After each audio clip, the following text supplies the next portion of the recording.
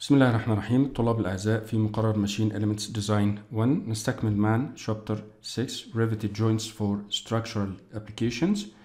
ونستكمل الخطوة التالية اللي هي حساب كفاءة الوصلة. Efficiency of the joint. طبعا عشان نحسب كفاءة الوصلة بنحسب على المقاطع دهيات ال strength على المقاطع الثلاثة اللي عندنا اللي هو ال Pt واحد. ال strength طبعا الخاص بعملية ال tensile strength stress ونحسب ال Pt 2 وال Pt 3 عند كل مقطع من المقاطع الثلاثة عند المقطع واحد هنلاقي فيه مسمار واحد عندنا يبقى b ناقص d فقط. وبنطلع القيمة بتاعتها هنلاحظ إن هي ال Pt اللي إحنا حسبناها قبل كده 178 500 نيوتن. المقطع 2 هيبقى عندي فيه مسمارين يبقى العرض بتاع اللوح هنقص منه 2 d ضرب سمك اللوح في sigma t زائد ال shearing resistance المقاومة بتاعه المسمار دهوت في حالة ال shear. وما ننساش إن إحنا طلعنا ال Ps قبل كده بتساوي 41 300 المقطع رقم 3 عندي المسمارين هنا هيبقى برضو b ناقص 2 d أنا مش مرتبط برقم المقطع هنا مرتبط بعدد المسامير اللي موجودة عندي في المقطع. لكن عدد المسامير اللي أمام المقطع ده ده واحد اتنين تلاتة. يبقى هنا التلاتة في ال PS بتاعت المسمار الواحد اللي هي واحد وأربعين تلتمية. يبقى كده طلعت PT 1 PT 2 PT 3 عند الثلاث مقاطع المختلفة. طلعنا قبل كده ال PS لمسمار واحد هنضربها في عدد المسامير اللي هو خمسة في واحد وأربعين تلتمية يطلع الرقم ده. وبعد كده ال PC برضو طلعناها الرقم. لمسمار واحد اللي هي 43000 نضربها في خمسة يطلع عندنا ال PC الكلية. عشان عشان نحسب كفاءة الوصلة بنختار الأقل منهم جميعا. ونضعه في البسط اللي هو 178 500 في المقام هنا بنضع مين؟ اللي هو كفاءة الوصلة بدون أي ثقوب فيها اللي هو عرض اللوح كاملا ضرب ال T ضرب sigma T. يطلع عندي 200 ألف بحطها في المقام.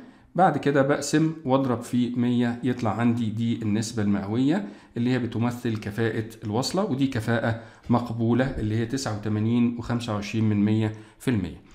طيب في حالة إن يطلع عندي كفاءة وصلة إيتا متدنية جدا وليكن مثلا 40% يبقى معنى كده إن أنت توزيع المسامير عندك على المقاطع المختلفة غير مناسب. إذا لم يتثنى لك الوقت الكافي في الاختبار بتعمل بس suggestion أو اقتراح بإعادة توزيع المسامير. فلو أنت موزع مثلا واحد اتنين اتنين ممكن توزع اتنين تلاتة أو العكس. لو أنت حاسب على أساس اتنين تلاتة لأن إحنا طبعا حسبنا على واحد اتنين اتنين طلعت الكفاءة مناسبة. لو أنت حاسب على اتنين تلاتة وطلعت الكفاءة متدينة متدنية بترجع تحسب أو تعيد توزيع المسامير مرة أخرى. الخطوة اللي بعد كده حساب ال pitch of rivet وإحنا قلنا إن ال pitch بيساوي 3 قطر المسمار زائد 5 ملي فبيطلع عندي الرقم ده. ممكن إن إحنا نقربه إلى 70 ملي ال margin قلنا بتساوي واحد ونص قطر المسمار.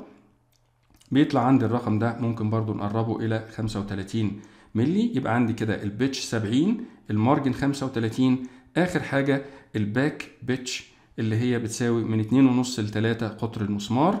فبضرب اتنين ونص في قطر المسمار يطلع عندي تلاتة وخمسين خمسة وسبعين. ممكن نقربها إلى خمسة وسبعين ملي متر ده اللي هو ال back pitch. بعد كده برسم رسمة نهائية للوصلة. فيها التوزيع بتاعي على المقاطع المختلفة مقطع واحد ومقطع اتنين ومقطع تلاتة. وبوزع عندي ده طبعا اللي هي بتمثل ال pitch dimensions بتاعتي.